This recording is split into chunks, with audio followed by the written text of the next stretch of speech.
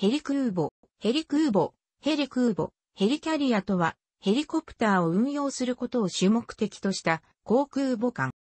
ヘリ空母とは、複数のヘリコプターを搭載し、それを力させられる飛行甲板や格納庫などを備えた空母。新聞社やテレビ局は強襲揚陸艦や複数のヘリコプターを搭載する艦もヘリ空母と便宜上化している。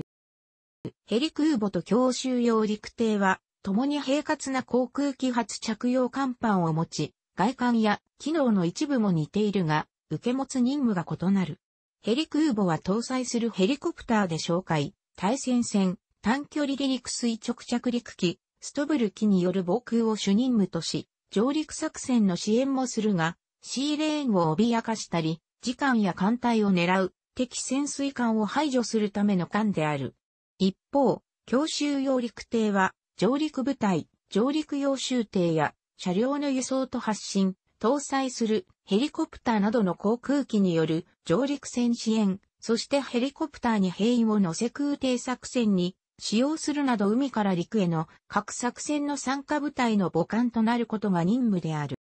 ヘリコプター運用能力を持つ通常の艦船、アーレイバーク級ミサイル駆逐艦イーヤや、気づき型汎用護衛艦など、や、整備運用能力を持たないお墨型輸送艦のような艦は、ヘリ空母と呼ばれない。ストブル機の運用を第一義に考えられているものは、軽空母と呼ばれる。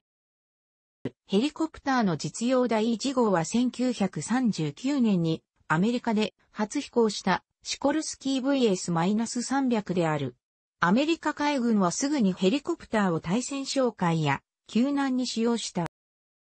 第二次世界大戦後ヘリコプターが発達し、搭載力が増大するにつれ、太平洋戦争で大規模な揚陸作戦を何度も経験したアメリカ海軍はヘリコプターを使用した迅速な揚陸作戦の検討を開始した。この案に沿って朝鮮戦争後の1955年に余剰になっている護衛空母セティスベイを強襲ヘリコプター航空母艦ケイヤに改装することが行われた。さらに1959年から正規空母のエセックス級3隻、ボクサー、プリンストン、バリー・フォージの固定翼機運用能力を撤去して揚陸艦に改装した。これらボクサー級強襲揚陸艦は満載排水量3万トンに達し、ヘリコプター30機とアメリカ海兵隊の兵員約1500名を収容でき、ヘリコプター揚陸艦 LPH と呼ばれるようになった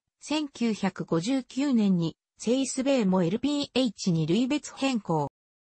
同様にイギリス海軍においてもコロッサス級軽空母2隻、オーシャン、シーシュースを空母の類別のまま、第二次中東戦争において、ヘリコプター揚陸任務に用いて、成功を収め、この成果をもとに余剰となった、戦闘休憩空母3隻、アルビオン、ブルワーク、ハーミーズをコマンド母艦、コマンドキャリア、イギリス海軍の LPH に改装して運用した。この輸送、揚陸能力や飛行甲板、環境配置などの外観は、その後、アメリカで新造された、強襲揚陸艦の洋島級7隻、1961年、満載排水量18000トン、タラワ級5隻、1976年、満載排水量39000トン、ラ、ワスプ級7隻、1989年、満載排水量4万トン、LHD、アメリカ級、2012年、満載排水量4万5000トン、らに引き継がれている。またこれら強襲揚陸艦はヘリコプターに加えストブル、機のハリアー E も運用できる。空母からの改装ヘリコプター揚陸艦や硫黄島級は実戦に投入するとヘリコプターの離着艦が困難な悪天候下では揚陸作戦が行えず主力戦車のような重量物も運べないという弱点が明らになった。この弱点を克服するため、タラワ級以降ではドック式上陸用終艇発進機能も合わせ持つこととなり、ここに競技の強襲揚陸艦が誕生した。イギリス海軍は V、エストール機運用能力を抑えヘリコプター、運用能力を重視した LPH、オーシャン、1998年、満載排水量2万トンを建造し、揚陸作戦能力を維持している。イタリア海軍は V、エストール級運用能力のない、サンジョルジョ級強襲揚陸艦3隻、1987年、満載排水量約8000トン、ヘリコプター3から5機を保有している。2018年現在、フランス海軍のミストラル級強襲揚陸艦、オーストラリア海軍のキャンベラ級強襲揚陸艦、韓国海軍の独島級揚陸艦など、この種の艦船は増加傾向にある。ロシア海軍も強襲揚陸艦を必要としており、フランスにミストラル級2隻の建造を発注、2012年2月1日に一番艦が寄港、また2隻を自国でライセンス生産する計画を持っているが、ロシア海軍はこの間に攻撃、防衛のための対空、対艦、対戦ミサイルの搭載を求めているほか、艦載機として対戦ヘリコプターも搭載する予定とするなど、従来の強襲揚陸艦の能力のみならず、ヘリ空母と巡洋艦の性格をも合わせ持った多目的艦となる予定である。1960年代に各国の海軍では駆逐艦以上の戦闘艦艇にヘリコプターを搭載して対戦、対艦任務に用いることが始まっていたが、その中で艦の後半分を広大な飛行甲板と格納庫に充当したヘリコプー巡洋艦、駆逐艦が建造されることとなった。1964年にフランス海軍はジャンヌ・ダルク満載排水量1万2000トンヘリコプター8機を建造しているが、同艦の全半分は通常の巡洋艦スタイルであり、後年のヘリ空母、軽空母よりもヘリコプター巡洋艦に近いスタイルであった。また同年にイタリア海軍は、より小型のアンドレア・ドーリア級、ヘリコプター巡洋艦、満載排水量6500トン、ヘリコプター4機を2隻建造している。イギリス海軍もタイガー級防空寿命艦、改装後、満載排水量12,800トン、ヘリコプター4機を改装し、後部の方を撤去して、ヘリコプターの格納庫を装備している。この流れは一方では、艦の拡大につながり、最大の艦であるソ連海軍のモスクワ級ヘリコプター寿命艦1967年満載排水量14,000トン、ヘリコプター14機、イタリア海軍のビットリオ・ベネト、1969年、満載排水量9200トン、ヘリコプター9機に至るが、1980年に完成したイギリス海軍のインビンシブル級によって本格的なヘリ空母、空母へと移行した。なお、これらの艦は、交渉がヘリ空母であるジャンヌ・ダルクを除き、通常ヘリ空母とは呼ばれない。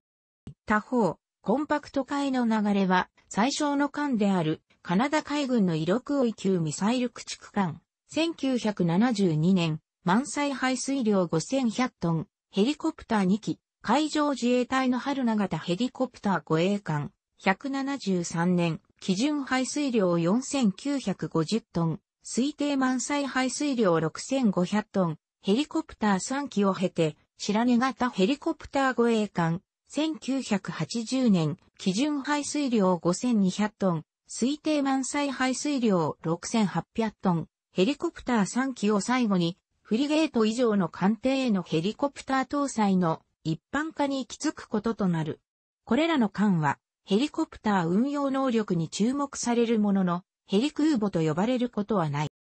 1975年、ソ連海軍では、大型の V トール空母キエフ級、改め型のアドミラル・ゴルシコフを含めて4隻建造、満載排水量3万6000トン、ヘリコプターとストブル機約30機搭載を建造した。キエフ級はミサイル巡洋艦の性格が強く、搭載したストブル機約マイナス38フォージャーの能力も低かったこともあり、その後はクタール機を運用できる正規空母の建造に移行した。なお、ソ連海軍は、キエフ級に航空巡洋艦、重航空巡洋艦という名称を与えていたが、その理由は、空母のボスポラス海峡通過を禁じた、モントルー条約を回避するためであり、空母であっても、巡洋艦と称することで通過を可能とするためである。1980年に完成したイギリス海軍のインビンシブル級満載排水量2万600トンは